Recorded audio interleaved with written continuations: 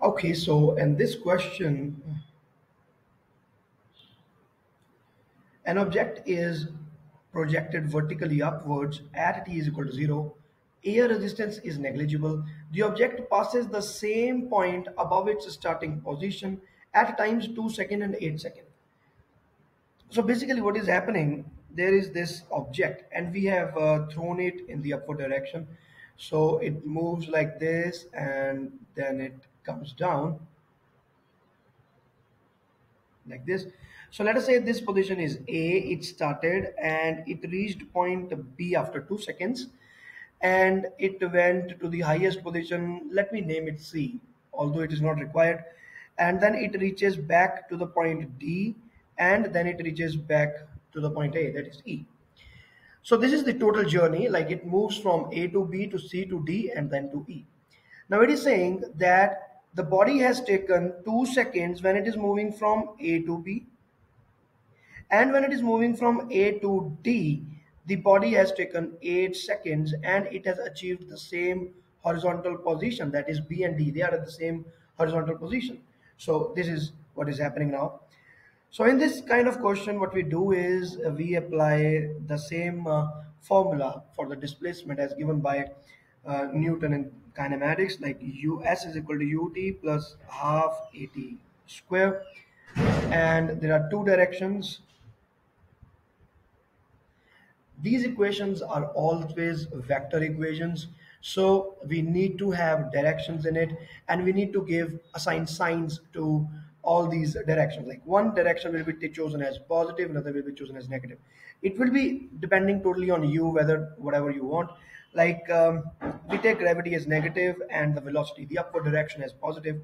So uh, for the distance AB, when it goes to AB,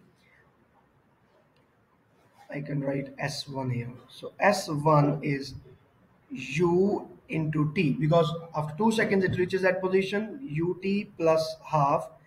Gravity will be taken as negative and it is written that G will be taken as 10. So I have taken minus 10 negative because now it is in the downward direction and the time is 2. So this is S1. Similarly S2. S2 is now, after 8 seconds, its position is at D.